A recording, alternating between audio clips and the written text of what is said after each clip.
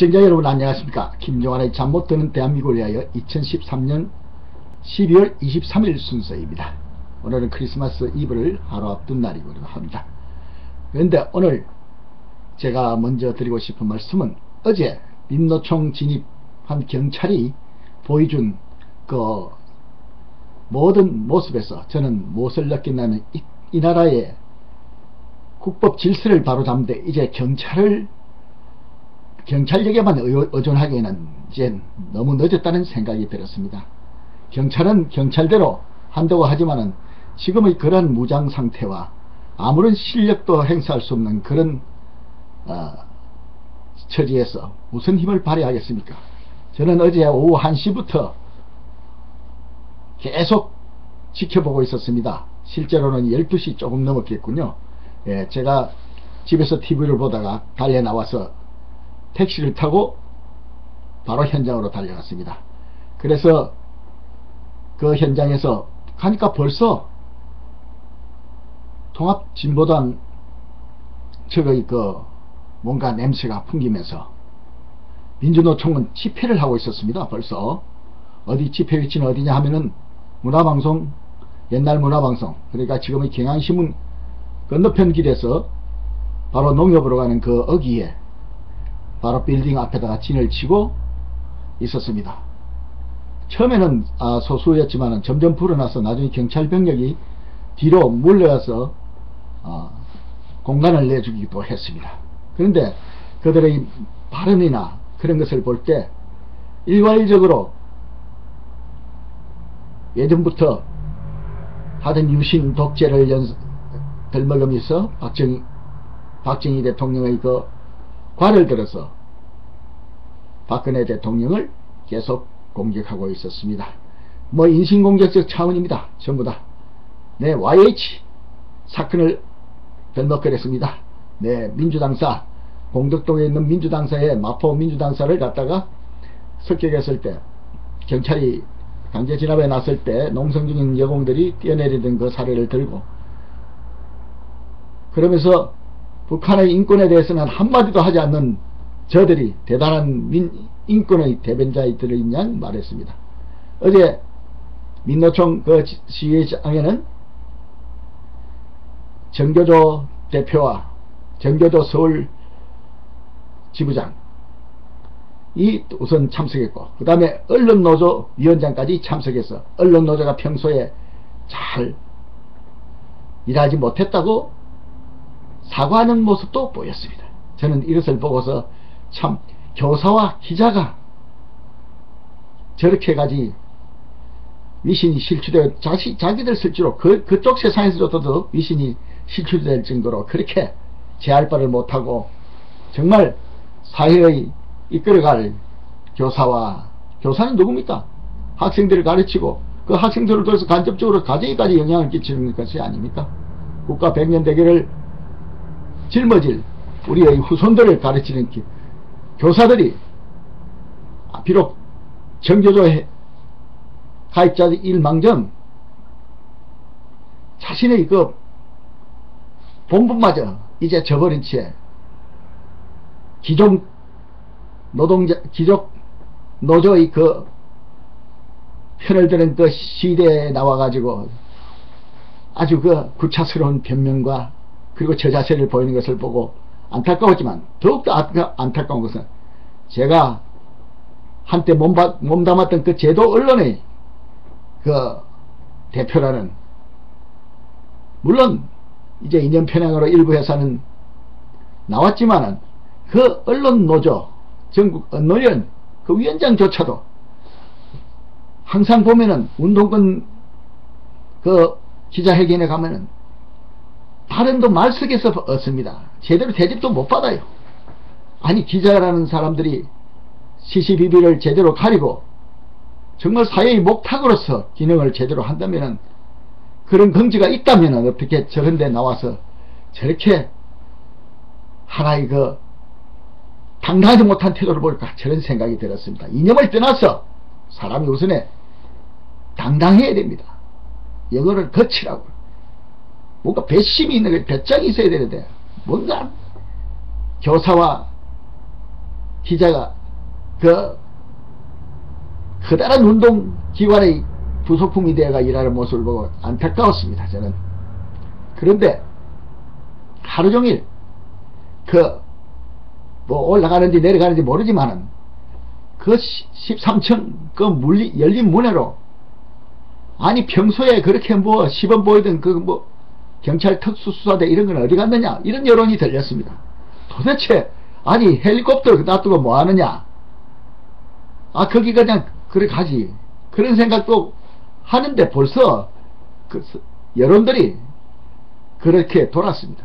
그리고 그 자리에는 정말 비분관계하는 정말 좀 잘했다 이러는 여론도 있지만 상당수가 또 민노총 지지 세력들이로서 지금 그 강북 삼성병원 그 언덕바지에 집결해가지고 경찰에는 야유를 보내고 또 그들은 그들 나름대로 데모를 했습니다.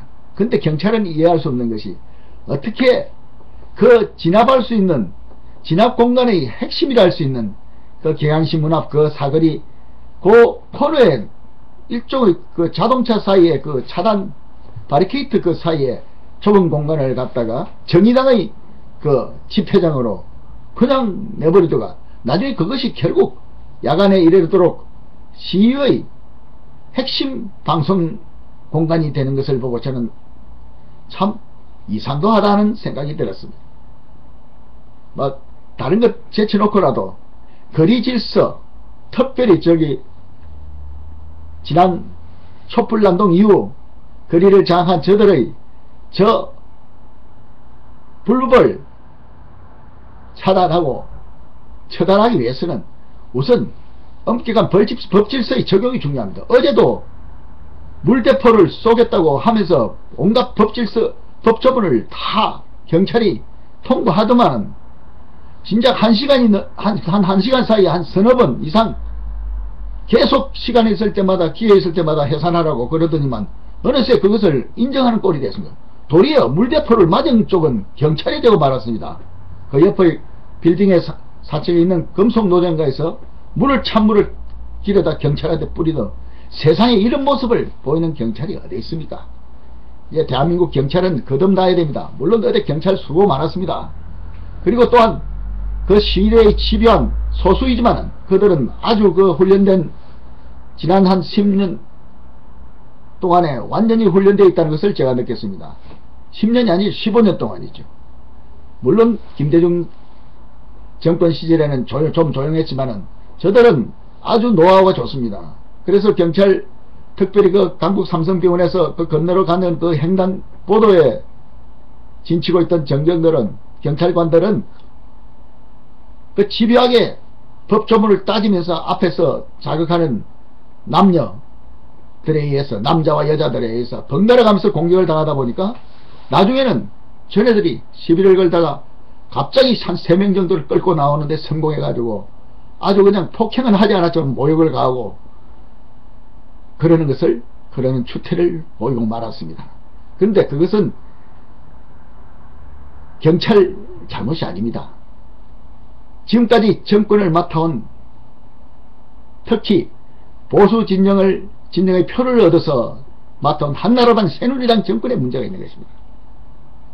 경찰에 힘을 실어주지 못했습니다. 예전 같으면 국회에 경찰 출신 국회의원들이 한, 한두 명 꼭 있었습니다. 그런데 한나라당 때부터 이상하게 경찰 출신들은 씨를 말렸습니다. 입후보할 때부터 이상하게 조금만 이, 조금이라도 약점이 보이면 그대로 그걸 빌미로 출마를 못하게 그렇게 만들었습니다. 검찰 국회입니다. 검찰 국회가 들어서고부터 오히려 거리 질서는 거리 질서가 아니고 거리의 무질서, 불법 질서, 거리의 주도권은 종북 세력에 가 있습니다. 자 이제 이것을 해결하자면은 저는 오늘 아침 방송에서 말합니다. 이제 경찰명망으로 되지 않습니다. 경찰명망으로 할 수 있는 방법이 딱 하나 있습니다. 경찰에게 발포권을 주는 것입니다. 경찰관에게 경찰관의 신체에 위협을 가해서 신체에 상해나 또한 그 목숨을 앗아서 공무를 집행할 공무 집행을 방해할 우리가 있을 때는 지장을 받을 우리가 있을 때는 발포해도 좋다. 발포 명령 내리고 경찰관들에게 특히 거리 질서를 확립해야 하는 그리고 또한 정보를 처단해야 되는 저런 시장에서 경찰관에게는 실타를 지급하고 권총을 휴대하도록 그렇게 하지 않는다면 이제 경찰관에게 이제 그런 여력이 없습니다. 지금 시간이 있지 않습니까? 그래서 박근혜 정부에서는 다시금 당부합니다. 시간을 높이지 마라. 그리고 어제 봤지 않습니까? 그 연말연시 이 국민들의 편안함을 느끼고 한 해를 정리해야 될 시에도 국민의 발을 묶고 계속 때를 쓰고 있는 아 민영화든 국유화든 민영화 반대를 왜 자기들이 나서서 하는, 하느냐 그런 여론들이 많습니다. 기종노조입니다. 잘 됐습니다. 요번에 기종노조라고 아주 이 직장도 구하기 힘든 세상에서 저렇게 자기 주장만 하고 국민의 팔을 묶고 기중한 생명까지 앗아가지 않습니까? 지하, 지하철 문에 할머니가 끼어서 또 돌아가시고 이런 판국인데 자 결단을 내려야 될 때입니다. 경찰력만으로 절대 되지 않습니다. 남의 소중한 자제들이요 가장들인 그 경찰관들 이제 너무 혹사하지 마십시오. 혹사를 하려면 제대로 하십시오. 일을 부리려면은 무기를 주고 하십시오. 그러나 그 경찰관들은 무기를 쓰지 않을 것입니다. 하다못해 폭동진한 무기도 없습니다. 어제 제가 목격한 고려병원 그러니까 강북 삼성병원 앞에서 목격한 한 시위 가담자는 평시에는 절대로 그 경찰 경찰관들에 다가 시비를 걸지 않습니다. 뒷열에서 여자친구하고 한참 이야기하고 있다가 갑자기 그 경찰관을 끌어내고 상황이 붙으니까 지팡이 같이 들고 있던 그 낚싯대 같은 길다란 막대기를 쭉 펴더만은 그냥 경찰관들을 휘두르고 다시 또 상황이 잠잠해지니까 얼른 덫을 다시 찌르고 딱 뒷줄에 가서 다시 서서 다음에 또 찬스를 노리고 있는 걸 봤 습니다. 이래서 저런 자들을 잡아야 되겠구나.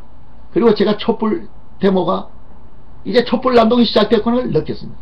촛불 난동의 특징이 뭡니까? 거리에 난동자들과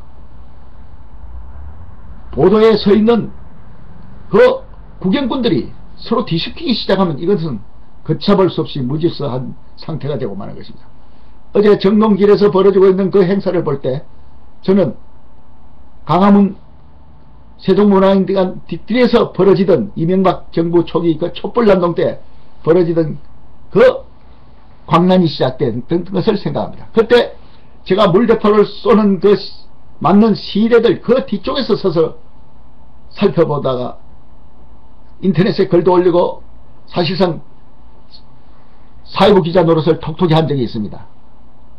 지금 이 순간도 저들은 호시탐탐 노리고 있습니다. 그리고 더구나 오늘은 또 천주교의 종북 세력인 정의우인 사대관이 또 시설술 시정관장에서 또 시국미사를 갖는다고 합니다. 이제 본때를 보여야 되겠습니다. 언제까지 그냥 보고 있을 겁니까? 이제 국민 여론조사에 의존할 것입니까? 어디까지 참아야 되는 건가? 참아야 되는 국민이다. 그리고 또 놀라운 거는 이 상황이 이제 국가적인 이슈지만 나라를 걱정하는 사람은 걱정해라. 우리는 스케이팅 탄다. 어제 참 제가 정동길을 그 시장 구경을 하다가 나와가지고 민노총 그 집회장을 뒤로 하고 서울시청 광장에 나왔더만은 아주 스포, 스케이팅을 평화롭게 즐기는 그 사람들을 보고 물론 어린 아이들도 있지만은 그 밤늦은 시간에 거기서 갖다가 스케이트장을 만들어 가지고 밤늦도록 타고 있는 것을 볼 때 참 평화스럽다 태평스럽다는 생각도 들었지만 안타까운 것은 국민들 이 각자가 마음이 모아지지 못했다는 겁니다. 바로 방관하는 것은 또한 그 편드는 것보다 못지않게 나쁜 뜻입니다. 적의 편을 들 것입니다. 지금 적은 우리에게 어떻게 했습니까? 아니 대놓고 공개적으로 언제라도 공격하겠다고 그렇게 사실상 선전포고를 했지 않습니까? 자 선전포고를 한 그 비싼 상황에서 야당 대표라는 자는 어제 아침부터 기자회견을 하는데 저는 그게 꼭 그 자신의 최후 진술을 보는 것 같아서 한심스럽게도 보였습니다. 거기다가 심상정, 정동영, 정동영이라는 사람도 명색이 일국의 대통령 후보라고 지낸 사람이 경향신문 앞에 나와서 또 지켜보다가 나중에 경찰이 철수할 때 또 기자회견을 갖는다고 법석을 떨었다고 합니다. 저는 참으로 가볼 수밖에 없는 그러한 저런 정동영, 문재인을 추천한 대통령 후보를 공천한 그 민주당을 국정 파트너로 생각하는 것 자체가 오산이라고 저는 생각합니다.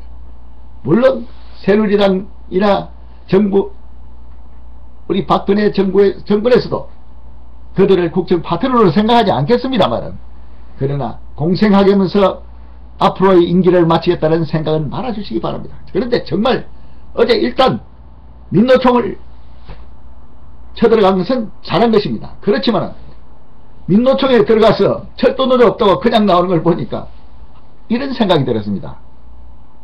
아주 산적 산적 두목의 그 본령에 쳐들어가서 갔다가 새끼 산적이 없다고 해서 그냥 나오는 또 모조리 들이 아닌가 그렇게 생각이 들었습니다. 아니 강도 두목 강도나의 속으로 들어갔으면은 악 일망타진을 해야 되는데 아 그동안에 민노총이 저지른 불법행위에 대한 아무런 자료가 없었습니까? 포항제철을 갖다가 유린하고 한 국가 기밀을 기밀 시, 기관 시설의 그 모든 것을 앗아갈 때 그럴 때 그 그것은 어제 뭐 김도겸 씨가 말했듯이 어제 뭐 화, 성에서 일어난 일입니까? 그리고 김도겸 사람 또 왜 그 모양입니까? 저 값을 하시고 김영삼 밑에서 일하던 그 시절을 돌아야 돼. 그런데 사람이란 건 본래 자기 행실에 따라서 얼굴에 책임을 져야 된다고 얼굴이 가습니다. 그리고 김현철이도 입을 좀 조심할 필요가 있습니다. 나불거리지 말고 좀 자중할 필요가 있다. 누구 때문에 외환위기가 왔는가를 생각해봐. 김현철이는 정신을 차려야 됩니다. 뭐 오늘 이야기가 약간 빗나갔었지만 다시 본론으로 돌아가서 거리에 국영군들 사이에 포진한 저 직업 대목군들 그리고 어린 자녀들을 데리고 나왔다가 그 어린 국민학생이 경찰 폭력 경찰 물러가라 이런 구호를 외치면서 집으로 가는 걸 보니까 저거야말로 정말 선진국 같았으면 양육권을 박탈할 그런 사례입니다. 나라의 정의를 바로 세워야 됩니다. 옳고 그런 것을 바로 따져줘야 됩니다. 사법부가 그것을 엄정하게 해야 됩니다. 그런데 사법부조차도 이제 붉은 물이 들었습니다. 많은 그 김일성의 장학생들이 들어가 있기 때문에 그, 그 소탕을 하면 곤란할 것입니다. 그러기 위해서는 이제 국가가 그 존립기관인 국가 헌법을 수호하고 국가 정체성을 수호하기 위해서는 뭐 어떻게 할 수밖에 없습니다. 공권력은 그 말로서 되는 말은 말로서 그 공권력이 이루어지는 것이 아닙니다. 반드시 공권력에는 힘이 있어야 되는 겁니다. 힘. 그 힘은 바로 일찍이 동서양을 무는 거라고 공산진영, 자유진영을 막는 거라고 권력은 청구에서 나온다는 것을 명심해 주기 바랍니다. 총을 사용하기 싫으면 물러나야 됩니다. 자기 자신을 지키지 못하는 정권은 국민이 보호해줄 가치가 없다는 것을 다시 한번 상기시키면서 김종환의 잠못 드는 대한민국을 위하여 오늘은 이런 아침에 했습니다. 충성!